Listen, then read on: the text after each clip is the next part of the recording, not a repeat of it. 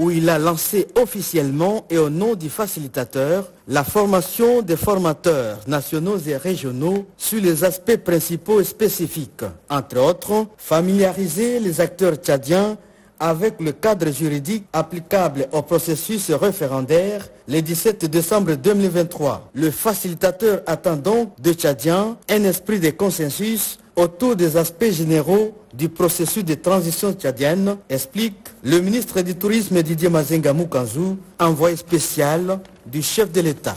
Il lance un appel pathétique à travers nous, à tous les acteurs sociopolitiques, de rejoindre le processus de transition car l'expérience montre que la politique de la chaise vide ne paye jamais.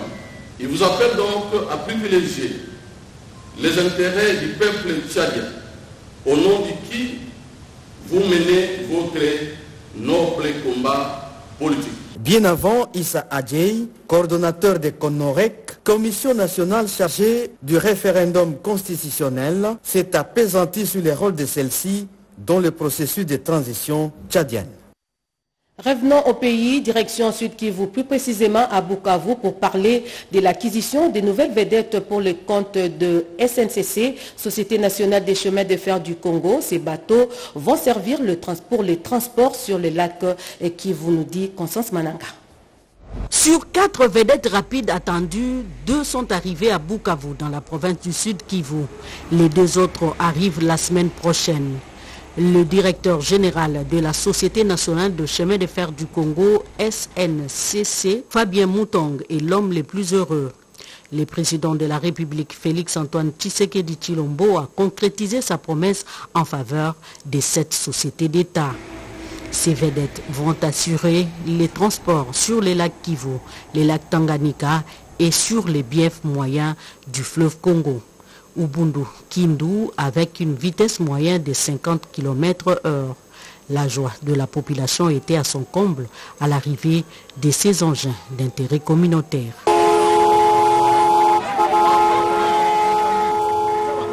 Les dernières vedettes achetées par la RDC jadis Zahir remontent de 1974.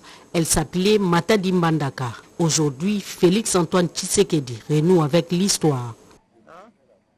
Dans l'actualité, la CENI a officiellement clôturé hier l'opération du dépôt des candidatures à l'élection présidentielle de décembre 2023 jusqu'à la fermeture du bureau des réceptions. 24 dossiers ont été réceptionnés. Téti Samba, Jiresto Fundje, reportage. À quelques heures de la fermeture du bureau d'enregistrement des candidatures pour la présidentielle, les prétendants à la magistrature suprême se bousculent pour être sur la liste des candidats présidents. Ce dimanche 8 octobre, six autres se sont ajoutés. Il s'agit d'Onke Malilo Bokondiloli, André Massalou Anidou, Floribert Anzuluni, Théodore Ngoy, Delis Sanga et Jean-Claude Bainde. Après avoir rempli leurs formalités d'usage, ils ont été accompagnés tour à tour auprès du président de la centrale électorale, Denika Dimakazadi, par le rapporteur Patrice Lela pour des entretiens. Devant la presse, les différents postulants pour les présidentielles ont donné leur motivation. Notre démarche s'inscrit dans une logique pour un retour à l'ordre et à la justice. Ma vision est attachée fermement au changement que l'ensemble de notre peuple espère. Je porte aujourd'hui une candidature collective. Cette candidature est issue, comme vous le savez probablement, d'un processus inédit et je dirais même historique des primaires citoyennes qui ont été organisées par la plateforme citoyenne Alternative pour un Congo nouveau. Je suis le candidat de ce projet que l'on appelle la refondation du Congo, qui veut rassembler les Congolais et pour rompre avec euh, les pratiques antérieures, mais surtout donner une perspective.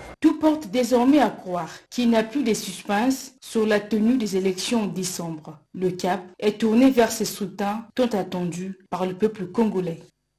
Pendant ces temps, le changement des mentalités et le leadership idéal pour le développement et la bonne gouvernance en RDC, sujet au cœur de la journée des réflexions tenue par les coordonnateurs adjoints de la cellule d'innovation et des changements des mentalités, Jacques Kambala Chilombo, nous dit Eugénie Chabani. Gilles qui aspire à l'émergence, la République démocratique du Congo fait face à des défis tels que la pauvreté, accentuée par la promotion des antivaleurs qui gangrènent la société congolaise en général et la jeunesse en particulier.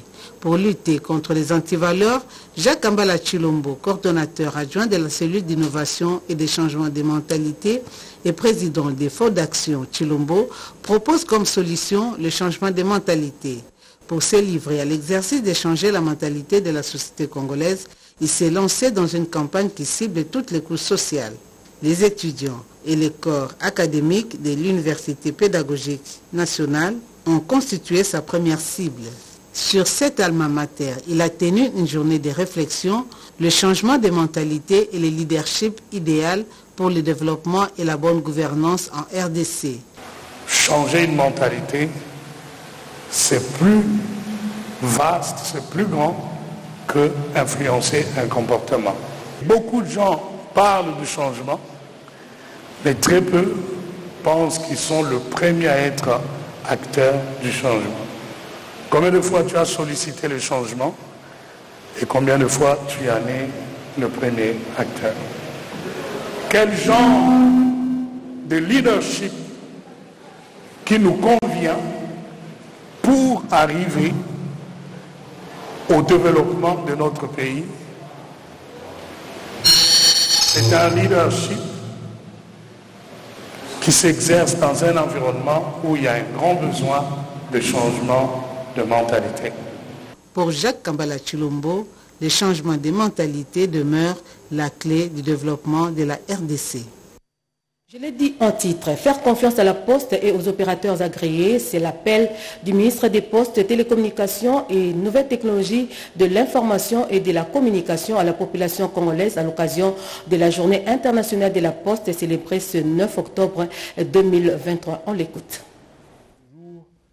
Je rends un vibrant hommage aux postiers du monde entier et particulièrement aux hommes et aux femmes de notre pays, la République démocratique du Congo, qui s'adonne avec passion sur l'ensemble du territoire national à ce métier noble de contact et d'échange physique avec les citoyens.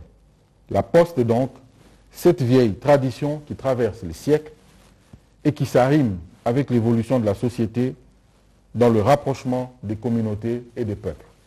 Unis pour la confiance et donc cet appel de l'Union postale universelle à l'exhortation des différents prestataires des services postaux de garantir à chacun où il se trouve à partir du bureau de poste de proximité l'accès aux services de commerce électronique, de cyber-administration, de l'économie numérique, au moyen des outils et technologies modernes à des coûts abordables. La confiance dans la traçabilité des envois, la confiance dans la sécurité, la confiance dans les échanges d'informations entre services postaux et le leitmotiv au centre de la réflexion de la Poste de cette année. Mesdames et messieurs, chers compatriotes, s'agissant des services de poste de notre pays, sous la vision de son Excellence, Monsieur le Président de la République, chef de l'État, Félix Antoine Tshisekedi Chilombo et le leadership de son Excellence, Monsieur le Premier ministre, chef du gouvernement, Jean-Michel Samaloukonde Kienge, votre gouvernement a fait du développement de la Poste une priorité des piliers de son programme d'action. Mon ministère ne ménage aucun effort afin de soutenir les activités de modernisation des services et produits de la Poste. C'est au travers de cette vision que le gouvernement a planifié la réhabilitation des bureaux de poste dans les 145 territoires. L'accompagnement de la société congolaise des postes et télécommunications SCPT en sigle a permis l'opérationnalisation des services innovants tels que le e-commerce à travers la Post Market, une plateforme numérique de vente et achat de divers articles en ligne. Justement, après ces années de gloire, la poste congolaise devait faire face à la concurrence. C'est ce qui lui a fait perdre la confiance de ses clients. Aujourd'hui, la SCPT se relève et poursuit sa mission d'expédition des colis et courriers à travers euh, le monde. Alors, quels sont ces différents services et produits et pourquoi redonner confiance à la SCPT Élément de réponse dans ces dossiers signés Bobette et. Des timbres postes et boîtes postales, deux produits jadis incontournables de la SCPT dans son volet poste, sont malheureusement aujourd'hui méconnus et pas assez utilisés. Pourtant, cette entreprise héritée de la colonisation poursuit sa mission du réseau postal à travers une panoplie de produits et services. Nous expédions et nous recevons aussi des colis et des courriers partout dans le monde entier. Nous avons la poste traditionnelle, des boîtes postales. Nous faisons le courrier d'entreprise, la philatélie, une innovation. Nous avons la poste finance. Euh, la poste finance s'occupe de tout ce qui concerne les opérations financières au niveau de la poste. Nous sommes là aussi pour assurer certaines opérations bancaires, entre autres le transfert d'argent, le messagerie mobile. Nous avons encore euh, le service euh, On by SCPT. Le code postal, c'est un élément d'adresse qui doit être ajouté dans votre adresse normale. Mais plutôt, la boîte postale, c'est une adresse physique dans les bureaux de poste où vous pouvez aller récupérer vos courriers si vous les désirez. À chaque expédition, son service spécifique. Pour un service express, par exemple, c'est l'EMS qui s'en charge. Si nous avons créé le MES pour concurrencier le messagerie privée, et nous veillons souvent sur euh, euh, la nature du colis. Face à la concurrence, la poste congolaise se dit confiante car elle conserve encore le monopole de certains services. Dans des heures à 2 kilos, aucune autre messagerie ne peut euh, fonctionner dans cette fourchette-là. Si quelqu'un accepte des courriers de 0 à 2 kilos chez lui, les fait transporter, la poste est en droit de saisir ce courrier-là et de le traduire en justice. La sécurité et la rapidité sont parmi les exigences des clients pour un réseau postal réussi. Nous travaillons à ce que les courriers ne prennent plus beaucoup de temps. L'autre élément de qualité, c'est donc vous pouvez suivre votre envoi jusqu'à l'état final de la distribution auprès de votre destinataire. C'est la première fois que je viens à la poste déposer mon cours. Le, le vivre, le sec, il y a le chédir, le foubois, boulou ça fait deux ans. Malgré la rude concurrence, la poste congolaise reste en lice. Et nous avons mis en place euh, ce que nous appelons les postes relais. Ce sont des particuliers et qui acceptent de faire les mêmes services que la poste. C'est-à-dire nous avons un partenaire avec eux. Les nouvelles technologies ont imposé des changements et la SCPT s'est alignée. Il y a l'avènement euh, de la poste numérique. Nous sommes en train de travailler pour qu'on puisse avoir la norme d'adresse qui respecte la manière dont l'adresse doit être écrite au Congo. Aujourd'hui, avec le projet de 145 euh, territoires, le projet du chef de l'État, la Poste est inscrite dans ce projet-là pour relancer et réhabiliter les différents bureaux dans les 145 Rien ne remplace la poste. Ce slogan fait de la SCPT un instrument de l'unité nationale. Son patrimoine et son appartenance à l'Union postale universelle, une sorte d'un territoire mondial postal, font de la poste une force dans l'expédition. Un atout que ses concurrents n'auront jamais. Parlons santé. Une coopération médicale s'est tissée depuis une année entre l'hôpital Saint-Louis de Paris et les cliniques universitaires de Kinshasa. C'est dans ce cadre qu'une équipe française vient de séjourner à Kinshasa pour des interventions chirurgicales, mais également de formation. C'est un reportage signé Pati Tondongo Kizunda, rendu par Eric Kapamba. Centré, ces médecins de la RDC et de la France opèrent un malade. Tout se passe dans une collaboration chirurgicale bien adaptée nous sommes aux cliniques universitaires de Kinshasa. Ici, les chirurgiens français sont venus partager leur expérience avec ceux de la RDC sur le traitement de plusieurs maladies qui nécessitent une intervention chirurgicale, notamment les cancers de l'ésophages.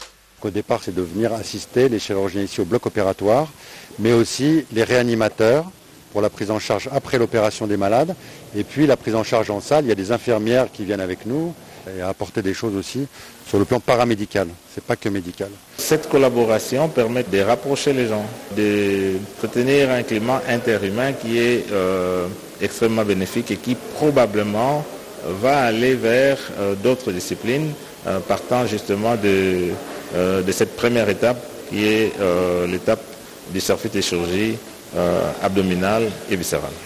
Ces médecins français dispensent également une formation sur les traitements de maladies devant le médecin stagiaire avant d'aller au bloc opératoire. Avant de passer à l'intervention chirurgicale d'un malade, tout doit être bien contrôlé chez l'anesthésiste. Chaque malade a un protocole qui lui est spécifique. Chaque maladie pour l'anesthésie a un protocole qui lui est spécifique. Étant donné que ce sera une anesthésie générale, spécialement pour le cancer de l'œsophage, on doit interroger tous les organes, on doit interroger son foie, reins, le cerveau naturellement, et ainsi de suite, en vue de le préparer correctement cette intervention-là. Cet échange d'expérience entre la France et la RDC est vivement salué par les départements de chirurgie. Ça nous donne un plus, parce que vous savez que nos apprenants, donc les, les internes ou les assistants, ils font des stages à l'étranger. Euh, sur le plan de l'équipement, nous sommes quand même en dessous des Occidentaux. Quand ils vont là-bas, ils apprennent à travailler avec du matériel très moderne. L'hôpital universitaire, c'est un hôpital public. Notre souhait, c'est euh, d'opérer le plus de malades possible, avec les meilleurs résultats possibles et avec euh, euh, des techniques les plus élaborées possibles. L'ésophage est une partie du type digestif qui va du pharynge à l'estomac. Il peut être endommagé à cause du tabagisme et un reflux gastrique mal contrôlé, ce qui sont des facteurs de risque importants du cancer de l'ésophage. On va changer de chapitre. Faire du paysan l'acteur principal du secteur agricole en RDC, c'est le vœu exprimé par les associations des femmes au forum Agri-Business tenu à Kinshasa du 4 au 5 octobre 2023. Encore une fois, Eric Kabamba. Agribusiness en RDC a regroupé plusieurs catégories de participants. Parmi eux, les paysans et producteurs agricoles venus des différentes provinces de la République démocratique du Congo. On attendait quand même un tel forum, mais qu'on organise avec les petits producteurs que nous sommes. Nous voulons quand même que pour la prochaine fois, que le ministère organise quand même un tel forum, mais avec les petits producteurs. Nous voudons que le domaine de sécurisation des terres des communautés soit aussi au centre dans ce pays-ci pour que le pays puisse être sécurisé. D'autres experts et partenaires se sont estimés heureux de l'aboutissement de ce long processus bénéfique pour les Congo. Nous sommes confiants que nous sommes sur la bonne voie. Euh, le manioc, je dirais, étant la filière la plus importante même au niveau des filières. Euh, nous pensons qu'avec ce que j'ai pu constater, nous sommes sur la bonne voie et nous devons accélérer. Différents acteurs, différentes euh, parties prenantes ont exposé euh, les produits de leurs innovations et aussi euh, ils ont donné l'occasion aux investisseurs et à d'autres personnes de créer des liens d'affaires avec les acteurs qui sont sur place. Notons que le développement de l'agriculture paysanne en RDC demeure la préoccupation de tous. Et puis ces points de presse tenus au siège du groupe de travail climat Red Plus, les organisations de la société civile environnementale ont fourni des éléments d'éclaircissement au public sur la situation de la concession des conservations forestières octroyées à Boussinga. Nene Maïnzana, José Baïtoambo, reportage concession forestière des conservations de Boussinga, dans la province du Nord Ubangi, fait couler beaucoup d'encre et de salive pour éclairer l'opinion publique sur les contestes d'octroi et d'obtention d'une concession forestière des conservations en République démocratique du Congo. Le groupe de travail Climat Red Plus rénové a un point de presse auquel ont pris les notables de Boussinga. Les contrats de concession forestière de conservation entre le ministère de l'Environnement et Développement durable et la société Wildlife Way Carbon Congo SRL a respecté les procédures légales d'octroi et d'obtention d'une concession forestière de conservation en République démocratique du Congo, telle que fixée clairement par le Code forestier, mais aussi dans le décret numéro 011-27 du 20 mai 2011 fixant les règles spécifiques d'attribution des concessions forestières de conservation dans ces articles 1, 2, 4, 5, 6 et 7. Et je crois que c'est une question d'information. Les gens n'étaient pas suffisamment informés. Mais aujourd'hui, là, avec le point de presse, le GTCR, nous pensons que les zones d'ombre ont été balayées. Tout le monde pourra être à l'aise pour qu'on puisse avancer. Je peux vous rassurer que Boussinga attend vraiment la réalisation de ce projet. Les organisations de la société civile environnementale, partie prenante à ces processus, recommandent aux acteurs s'instituant comme défenseurs de la communauté de Boussinga d'œuvrer pour l'intérêt et la cohésion des communautés et non pour les intérêts privés, égoïstes et des positionnements. Parlons religion avec euh, ces cultes d'action des grâces à la communauté baptiste du Congo. Cet exercice de piété en cette journée dominicale en la paroisse protestante de la communauté baptiste du fleuve Congo clairant les hauts faits de Dieu dans la vie de ses enfants, membres de cette église. Dans son homélie, le pasteur stagiaire a convié les fidèles à l'abandon total au Créateur, Dieu Tout-Puissant, auteur de tout, afin de vivre les promesses que Dieu a faites à son peuple depuis l'Ancien Testament jusqu'à la Nouvelle Alliance par le truchement de Jésus-Christ. Selon le pasteur Michel Malouta, les fidèles de la CBFC Gombe vivront par la foi. Et cette attitude fidéiste les aidera à hisser au firmament les couleurs évangéliques. Ce culte dominical a connu la participation des membres du collège pastoral et celle du coordonnateur de cette église locale, le professeur Raymond Angendou Mongenzo. Puis, tous comme un seul homme, ont procédé à la lecture de la pensée de la semaine, qui se présente de cette manière. Donne-moi donc cette montagne dont l'Éternel a parlé dans ce temps, car tu as appris alors qu'il s'y trouve des Anakim et qu'il y a des villes grandes et fortifiées. L'Éternel sera peut-être avec moi et je les chasserai comme l'Éternel à Dieu. Béni sois-tu, Seigneur, au firmament du ciel, à toi haute gloire, louange sempiternellement.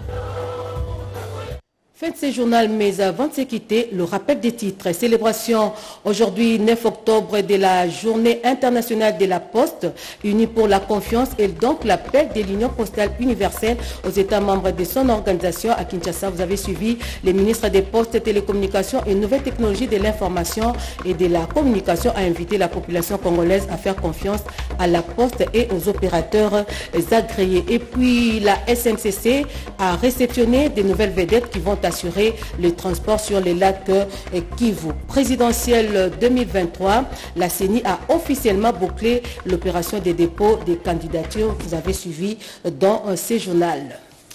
Voilà qui referme complètement cette édition de 7 heures sur la RTNC. Au nom de toute la grande équipe qui nous a tenu compagnie, nous vous disons merci de l'avoir suivi. Merci pour votre confiance et fidélité à la, à la télévision nationale congolaise. L'information revient à 13h30 et ce sera avec Malumbela à la présentation. Je vous souhaite de passer une très belle journée en compagnie de nos programmes. Au revoir.